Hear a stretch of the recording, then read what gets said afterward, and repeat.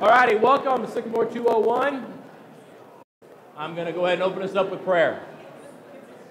now, Father God, thank you for your word. Thank you, Lord, that you've given us your word, that we might know your truth. We pray, Lord, that as we come to open your Bible up and learn more about it, that you would change us, grow us. Help us, Lord, to see how your Bible wants to be read so we can know you more. We pray this in Jesus' name. Amen. All right, see, this is why we need doors because what, what, what we're doing in here is just as valid as they're doing out there. We don't want to stop them either, so we need doors. Anyway, yes. It's got to stop. Exactly, it's got to stop. Yes, and just in case you, Mike, as a joke, is trying to spread the rumor that I purposely miscommunicated and may, I made the doors go away because I don't want doors. He's a lying liar and smells like smoke, just so you know, okay? Not true. Mike is making that up. So. All right, so here's how we're going to do this Sycamore 201, because we had to keep having delays, we only have two more classes left, but there are more Sundays in May, so there's no adult Sunday school the very last Sunday, because that's going to be a holiday weekend, and the Sunday school powers that be just said, don't worry about it. So we have two more classes of this, and then the final two Sundays, what I'm going to do is I'm going to kind of go over um, back in the fall I, when we kind of talked about the new vision of the church or the updated vision. Kind of had a presentation I did for Sunday school leaders and community group leaders. I'm going to share that presentation with you guys and have inter- interaction about the kind of the, the genesis of the church's vision years and years and years ago and kind of the updating over the last year. So if you want to, if you kind of want to know what the church is about, where we're going behind the scenes, you're going to want to come see that. And then the final Sunday will be sort of a passion project of mine that in a different life, I was trying to decide if the Lord was calling me into academic life, as I should actually get a PhD, or if He's calling me to pastoral ministry, and I already had my PhD topic picked out and had done some research. And so I'm going to do, give you a very, hopefully, entertaining and engaging version of what I was going to make a PhD topic at one point in my life. So, and I'll even let you have it for free if you want to use it yourself. It's fine. So, anyway. Okay, Sycamore 201, how the Bible wants to be read. So we've been doing this class about biblical theology, which is a proper name, not a description. We're not saying all other theologies are unbiblical. Okay, no, not doing that at all. This is how the Bible wants to be read. How, if God is truly as sovereign and providential as we believe he is, if, an, if inerrancy and authority of the inspiration are as robust as we say they are, then there's going to be things in there that show us by the very nature of what God's word is like. So these are how God wants us to see his word. Primarily using Luke 24 to start out with, where Jesus is on the road to Emmaus. We read that as part of worship two weeks ago. If you remember, Jesus has these disciples of his, they followed him for years. They're mourning his death. They're walking along the road, all mopey, and gentle Jesus, meek and mild, comes up to them. He doesn't put his arm around them, like, oh, y'all be okay, I'm back. He rebukes them and says, You should have been able to know from the Old Testament itself about my death and resurrection. Which is pretty intense. Think about it. Right? And so, based on that primary presupposition, this class has been kind of like, well, how could we have, how could we do that? Having, we have the complete Bible, we have the Holy Spirit.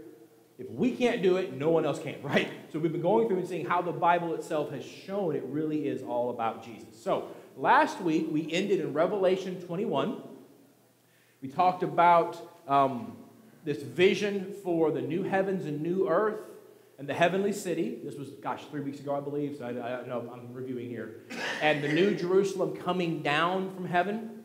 It's a picture of eternity on earth in bodies fulfilling the cultural mandate. So, from Dante and a lot of medieval literature, we bringing back Greek paganism, we for generations have defaulted to heaven is misty, ethereal, up there somewhere, right? From Scripture, Eschewing Greek paganism, we get no, heaven comes down and we're in bodies on real estate for eternity. So that's one of the main presuppositions we have to kind of get away from this is that we were always meant to be in bodies and that eternity will be embodied.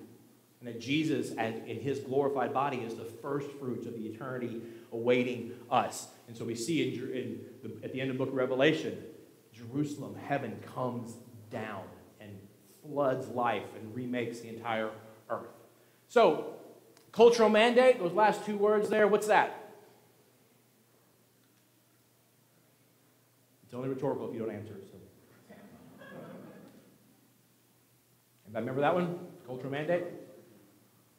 Okay. It's from Genesis. Yep. It's from. Let's go. Let's do the text. Maybe this will help us. So then I. This is from Revelation 21. Then I saw a new heaven and new earth, for the first heaven and first earth had passed away, and the sea was no more. And I saw the holy city, New Jerusalem, coming down out of heaven from God, prepared as a bride adorned for her husband. And I heard a loud voice from the throne saying, Behold, the dwelling place of God is with man.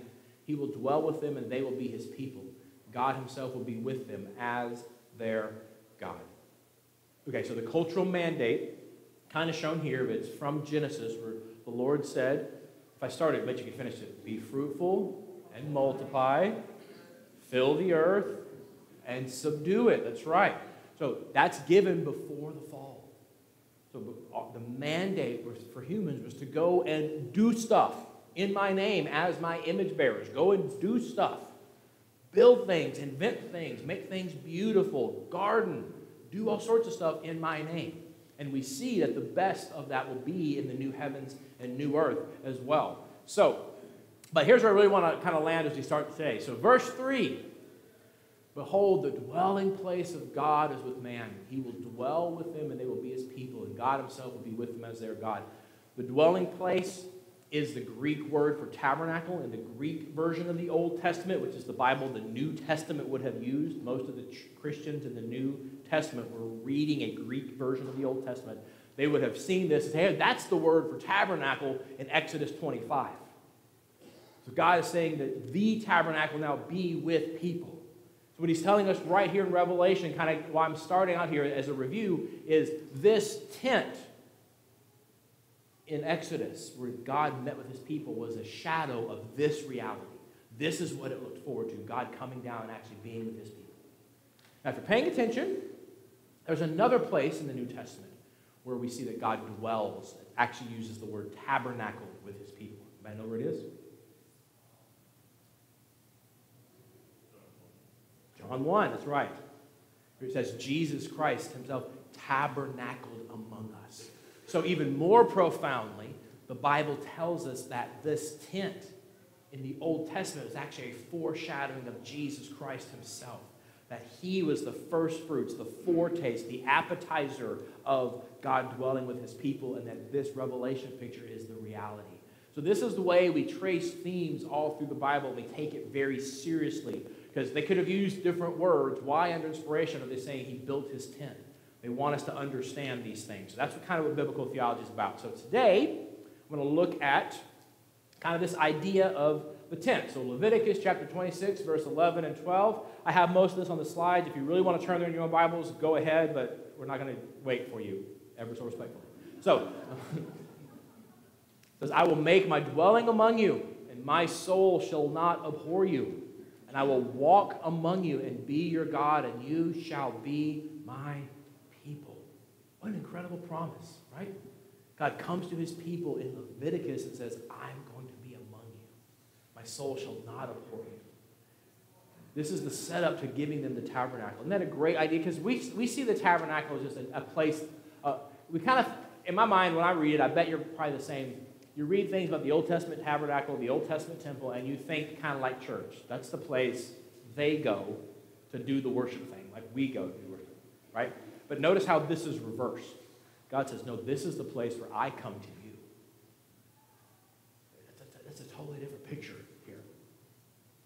See, Revelation 21 uses the imagery of the tabernacle and temple, the structures that symbolize God's presence with Israel now applied to all in Jesus as the ultimate blessing of eternity. So, the ultimate blessing of eternity is what? That we will be with God. Another part of Revelation says, though, there's no need for a temple. Remember why?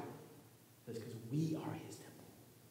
This is what it means when it says, you, y'all, not singular you, y'all are the temple of God. The Holy Spirit dwells in y'all, it's plural. Peter says, as living stones, you are being built up for the presence of God.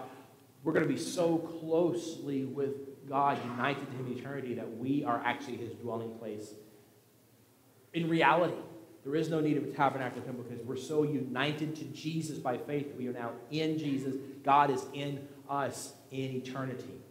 These are such profound, big concepts. You, you should, be, you should be going, yeah, but what? Because we, we can't get our mind wrapped all around this. the worldwide effect of God's dwelling promise from Leviticus 26 is then expounded in Ezekiel. We kind of saw this before, but we'll go there a little bit more. So God says, one day, someday, in Leviticus, we think he's only talking about the temple, but because Jesus used temple or tabernacle language, and Revelation does, we know actually the Holy Spirit, even back then, was talking about something yet to come. The tabernacle was just a shadow of, this reality. The reality is that God's worldwide dwelling with his people, all the way back from Leviticus 26. And it's expanded in Ezekiel, where Ezekiel says this They shall dwell in the land that I gave to my servant Jacob, where your fathers lived. They and their children and their children's children shall dwell there forever, and David my servant shall be their prince forever. I will make a covenant of peace with them. It shall be an everlasting covenant with them, and I will set them in their land and multiply them, and I will set my sanctuary in their midst forevermore. My dwelling place shall be with them, and I will be their God, and they shall be my people. Then the nations will know that I am the Lord who sanctifies Israel when my sanctuary is in their midst forevermore. Right? Yeah, sure. Let's fire it up. Guys, what an amazing promise. So God is dwelling with them. God's dwelling with them is the blessing, it is the goal. It's the peace at the foundation of the covenant of peace in verse 26 is God dwelling with his people. We've said this before, but just kind of keep make sure we're, you're still paying attention. Peace, Old Testament. What's it mean? Shalom. Okay, what's that mean? It's not the cessation of hostility. It's not the cessation of hostility, right? What is it? It's uh, love and, and cooperation and wanting the very best for the other person. Yeah, love, cooperation, one of the very best. Yeah, it's wholeness, might be. It means whole. So, kind of, okay, how do we make that make sense? Wholesomeness, health, being undivided. Remember in the Psalms, you see that all give me an undivided heart, Lord? A divided heart is the opposite of a heart of peace. A peaceful heart is whole, it's one. Whereas the book of James said, don't be double minded and unstable in all your ways. A, a person who has peace is not double minded, they're singular. So the covenant of peace is God comes and says, I'm going to fix your crazy. I'm going to fix all these multiple loves you have that, t- that tear your personality apart, that you feel yourself. We, and we use that, right? I feel like I'm torn in different directions. Right? Paul says, What's wrong with me? This, this guy inside wants to do this, and the other guy wants to do this. I'm like, Lord, help. That's all. You need peace. And God here says, I'm going to give you peace. I'm going to actually come, and in the covenant of peace, I'm going to just make you right. What an amazing promise. So we have this theme of God's dwelling which is no longer organic as it was in Eden. What do you think I mean by that? He was like right there in Eden, right? God walked with him. He was right there in Eden. It was organic. They walked with him in the cool of the day. But now, instead of being organic, God's presence with us is mediated. Things stand between us and God to help bridge that gap. So we have the tabernacle was a mediation of God's presence, right? The temple was a mediation of God's presence. Jesus obviously was a mediation of God's presence. And now the Holy Spirit is the mediation of God's presence. We have God with us because the Holy Spirit is in us. But one day, someday, Ezekiel has this promise, and other places too, that we will get to have God back organically with us we will have the immediate presence of God instead of the immediate presence of God. And that is what will bring you peace. That's heaven on earth. See, this is the Old Testament picture. Before the Greeks came in and messed us all up with Aristotle and Plato saying, well, reality and spirit are different, always keep them separate and stuff. And, and we, we all know that reality is bad, but spirit's good. Way before all that Greek stuff happened, we have the Old Testament saying, no, in bodies with God organically. His immediate presence is what you want. And so Revelation skips over all that Greek influence in the Roman world and grabs onto and says, Yes, we're going to be with God immediately, organically with us. That's heaven on earth. So, in the garden, God's presence was so palpable that there was no need for a temple. Or, to put it another way, the whole garden was a temple. In the same way, John imagines the new creation as a city that has no temple, but is itself a temple. Moving on with this quote, its cubic shape imitates the cubic shape of the temple's most holy place, the place most symbolic of God's presence. And the jasper, emerald, carnelian, and gold are reminiscent of the Garden of Eden, which was located in a place rich with precious minerals and metals. So you notice how you have these bookends to the Bible, is what he's saying. You have this beautiful picture of God's presence as bookends. To make it all about Jesus, you have that's why we have creation, fall, redemption, restoration is brought back. This is how you read the Bible. Okay, again, this is class 10 of nine things that have come before, so we're kind of wrapping up some big themes, reminding you how, what are some of the big picture ways to read the scripture. We, have done a few specific tracings of things, and we'll, we might do some more of those, but I'm trying to get you as a review. Here's the big picture of how we read the Bible. So, so we've traced another theme. Go ahead, yeah.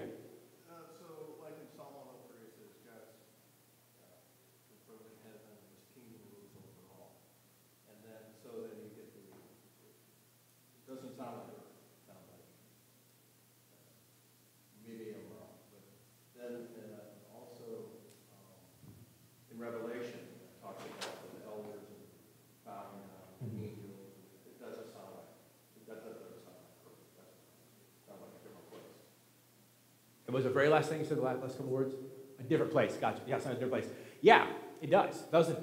Because the change is going to be so dramatic that when, when heaven comes down, it's a new heavens and a new earth. It's going to completely eradicate all the sin in, in such a way that it might as well be a recreation. In the same way that, you know, I don't, I don't want to fall off the map here, but in the same way, like, if the Bible's true, Noah's flood was almost a complete recreation of things. If that actually happened, I believe it did, if a worldwide flood actually happened, it recreated everything in such a way that all the supposed geological evidence and stuff, we don't know anything before Noah's flood. It changed everything, right? We, we know geology goes back to Noah's flood, but it's a different planet because it was such a massive recreation. And so, too, what he's saying is that the reality that's coming is so different that it's, it's a complete recreation. And some of the scenes that you're talking about, John is actually seeing into heavens, and it has not yet come down to earth yet. So there's an already not yet aspect to this of John is seeing the worship taking place right now. Just like you know, Jesus said, like when, when we die right now, we're kind of in this kind of waiting area in heaven without our bodies, waiting. And then once he comes back and starts this process of making all things new, we're reunited with our bodies and, and we come back down to be on earth, to be, be part of this recreation. So as you read these things, yeah, there, there's never a one-to-one correlation. You kind of have to trace these themes and see what, what's under this theme here. If that makes sense. Does that help? Sort of? Okay. So, so we've traced another theme. Remember, we traced this theme of redemption and water through Ezekiel's temple and stuff a couple weeks ago, or a month ago at this point. You know, we've traced the theme of God's presence just really quickly. We went from Revelation back to Leviticus, now to Ezekiel. There's this theme of God's presence in the Bible. Now, I want to see if we can use the concepts of a biblical theology that we've learned together, and in the next 20 minutes, and its tools to see if we can do this with a very familiar biblical story. Okay? Here we go. Let's get practical. 1 Samuel 17. This is a familiar story, so I'm going to read it fast. Okay? So now the Philistines gathered their armies for battle, and they were gathered at Socoh, which belongs to Judah, and encamped between Socoh and Azekah at, at big name. And Saul and the men of Israel were gathered and encamped in the valley of Elah. And they drew up the line of battle against the Philistines. And the Philistines stood at the mountain on one side, and Israel stood at the mountain on the other side, with the valley between them. And there came out from the camp of Philistines a champion named Goliath of Gath, whose height was six cubits and a span. And he had a helmet of bronze on his head, and he was armed with a coat of mail and the weight of the coat was 5,000 shekels of bronze. He's really tall, and his armor is really heavy. And he had the bronze armor on his legs and a javelin of bronze slung between his shoulders. The shaft of his spear was like a weaver's beam, and his spear's head weighed 600 shekels of iron. And his shield bearer went before him. He stood and shouted to the ranks of Israel, Why have you come out to draw up for battle? Am I not a Philistine? And are you not servants of Saul? Choose a man for yourself and let him come down to, to me. Okay, so If he is able to fight with me and kill me, then we will be your servants. But if I prevail against him and kill him, then you shall be our servants and serve us. And the Philistine said, I defy the ranks of Israel this day. Give me a man that may fight together. When Saul and all Israel heard these words of the Philistine, they were dismayed and, gre- and greatly afraid. Okay, so that's where we are in the text. What happens next takes a long time to say, so I'm just going to summarize it up. David shows up with food for his older brothers. Goliath pops off again, just like he does here. And then David responds in verse 26. And David said to the men who stood by him, What shall be done for the man who kills this Philistine and takes away the reproach from Israel? For who is this uncircumcised Philistine that he should defy the armies of the living God? So, you, you know the story, hopefully. Saul piles on his armor, onto David, and David's like, he can't fight in this stuff. He refuses the armor, so he gets the stones and he goes and he faces Goliath. Verse 45 Then David said to the Philistines, You come to me with a sword and a spear with a javelin, but I come to you in the name of the Lord of hosts, the God of the armies of Israel, whom you have defeat, defied. This day the Lord will deliver you into my hand, and I will strike you down and cut off your head. I will give the dead bodies of the host of the Philistines this day to the birds of the air and to the wild beasts of the earth, that all the earth may know that there is a God in Israel, and that all this assembly may know that the Lord saves not with the sword and spear, for the battle is the Lord's, and he will give you into our hand. We know the story, but it's, it's, it's great writing, so we're going to read it. David put his hand into his bag, and he took out a stone, and he slung it, and he struck the Philistine on his forehead, and he fell on his face to the ground. So David prevailed struck the Philistine and killed him. There was no sword in the hand of David. Then David ran and stood over the Philistine and took his sword and drew it out of his sheath and killed him and cut off his head with it. When the Philistines saw their champion was dead, they fled. And the men of Israel and Judah rose with a shout and pursued the Philistines. And the people of Israel came back from chasing the Philistines. They plundered their camp. Okay. Give me the typical understanding. Third grade Sunday school. Go. Come on. Little boy killed the big giant, okay? What do you take home from that? Battle was the Lord's, okay? Well, what do we tell our little urchins in Sunday school? Yeah, y'all, y'all know where I'm going. You don't want to play, huh? Okay. I got it. I got it. Okay. Well, I'll, I'll give you a hint. I love the group Casting Crowns. I do. I, I, I don't know if they're even still around in contemporary or formerly contemporary Christian music. But remember for the movie Facing the Giants, what, 15 years ago, they had that great song called Voice of Truth. Totally captures the usual Sunday school understanding. Here's how it goes, right? Oh, what I would do to have the kind of strength it takes to stand before a giant with just a sling and a stone, surrounded by the sound of a thousand warriors shaking in their armor, wishing they'd have had the strength to stand. But the giant's calling out my name, and he laughs at me reminding me of all the times I've tried before and failed. All right, so what are they saying? What are they saying? What, how are they summarizing this story? Uh, okay? Do something courageous for God. Take it upon yourself. Go face down your giant. How many have heard the phrase? Go face your giant. Come on, come on. I'm not asking if you've said it.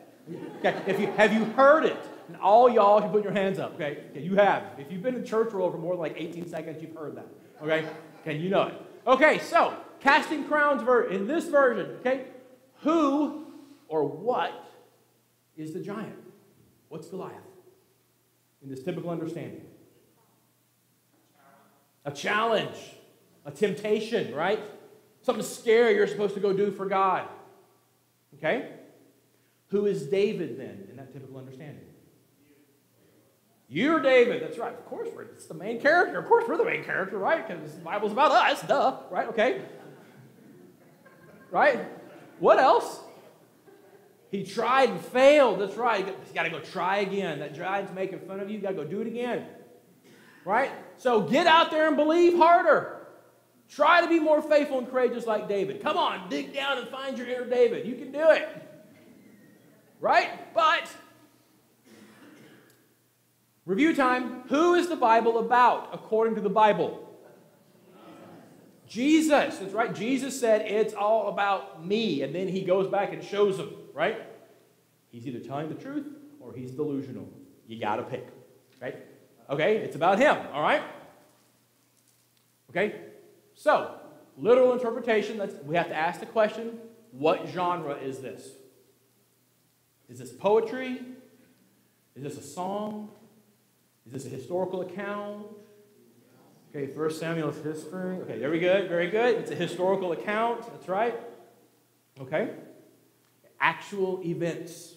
So, a literal interpretation means as it's written. So, it's written as actual events. Okay. So, is this direct verbal prophecy then? Remember that tool? Is this? Are we clearly reading this, going, "Oh yeah, this is talking about something future"? I would say no.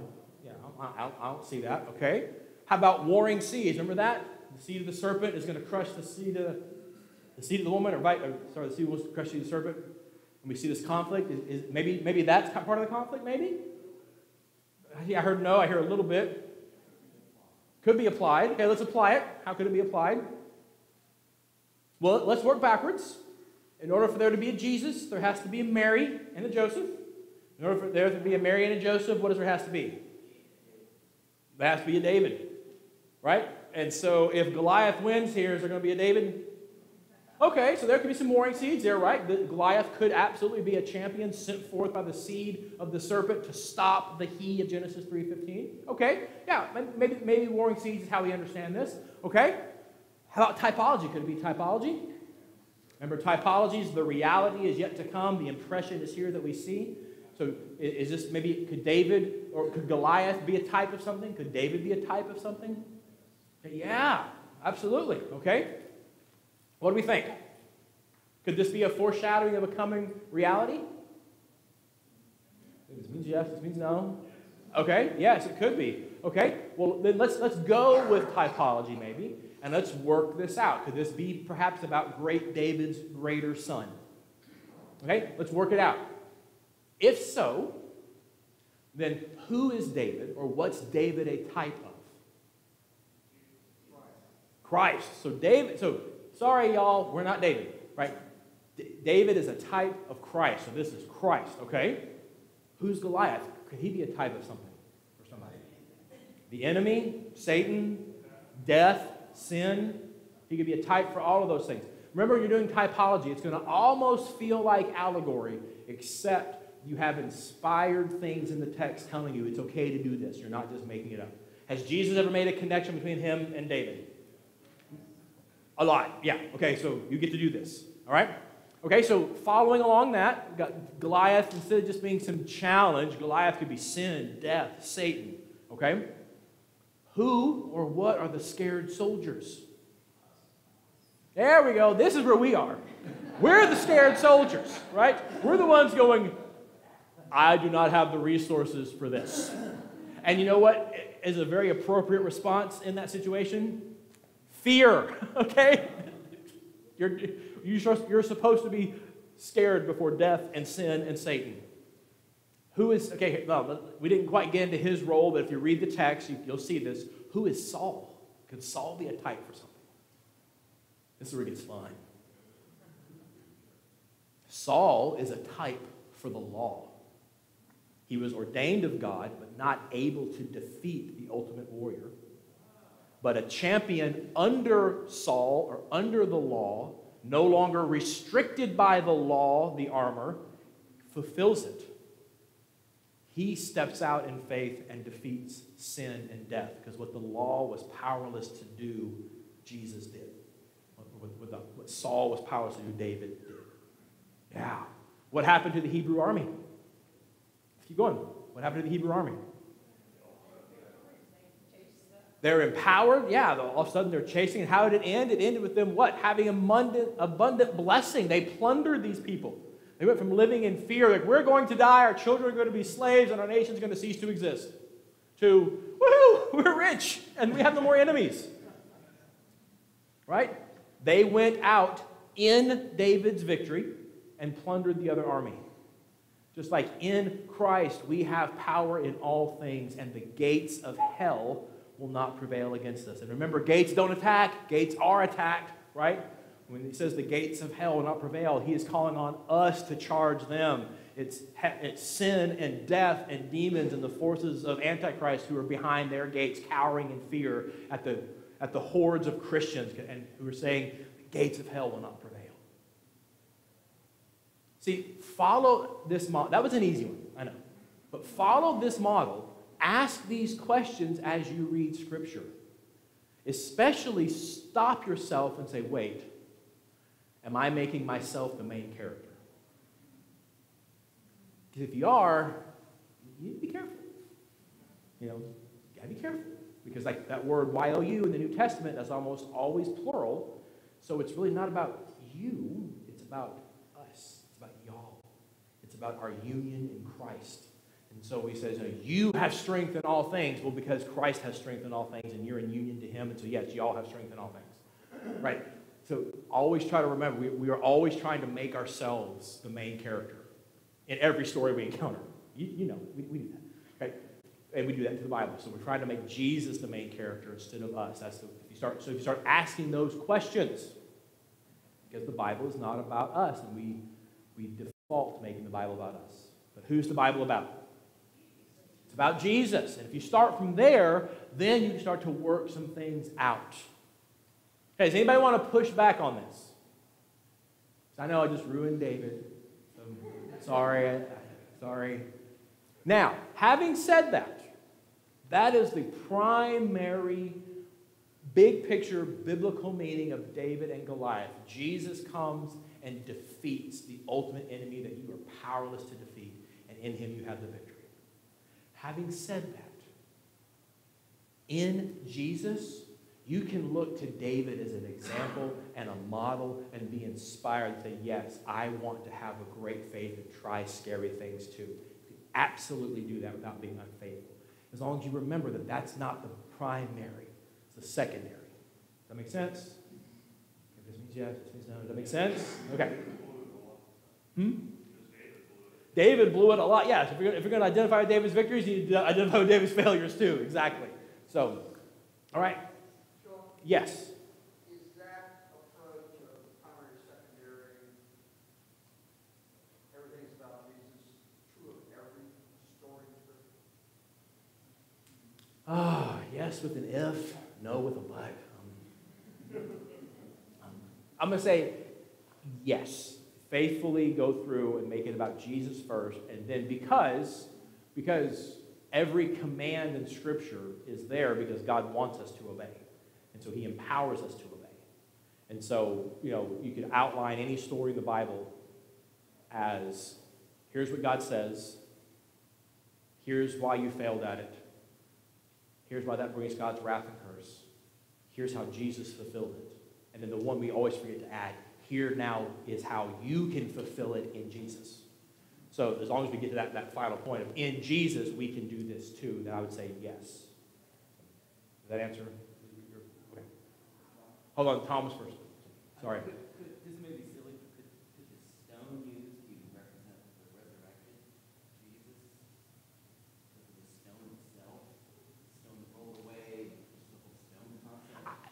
Stuff like that is, again, I'm sorry, the question was like, could we, could we see representation in the stone itself? Could it be, you know, some of the earliest church, um, in the ancient church, and the earliest church pastors, actually, it was very famous. It was a, it was a kind of a, it was a thing to preach about how the five books of the Pentateuch, the first five books of the Bible, represented the five stones. So you want to be careful because when you're doing stuff like that, unless you can find some warrant theologically or linguistically, you're kind of getting into some subjective allegory. So you want to be careful. Now, in your own, if you're teaching class, you could say something along the lines like, you know, I like to think of this, like for me, the stone would be like the resurrection. Sure. But you, you want to say, but I don't know if that's completely in the text. As long as you caveat, I think you're being fine. But we can find, you know, Jesus claimed to be the greater Goliath. We know that in him we have the victory.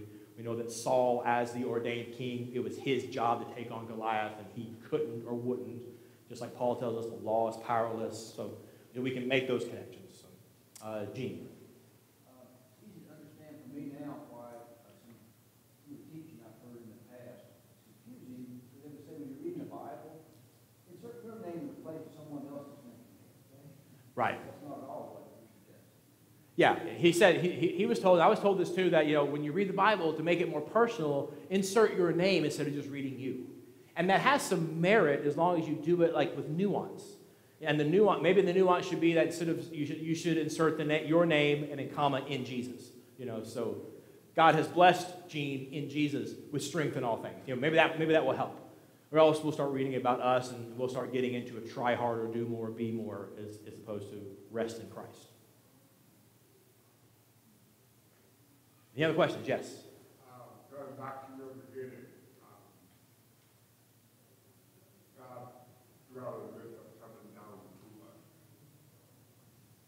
115 of the New Testament. that God off the prayer down about that whosoever believeth in them mm-hmm. should have everlasting life. How did the first Christians marry everlasting life God's right? Um, so the question is, how did, how did the early Christians put together the, prom- the continued promise of everlasting life with God coming down and dwelling? Yeah.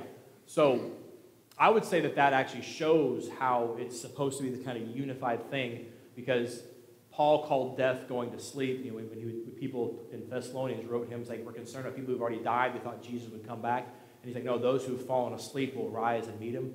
And so the, the New Testament church never saw death as anything but temporary.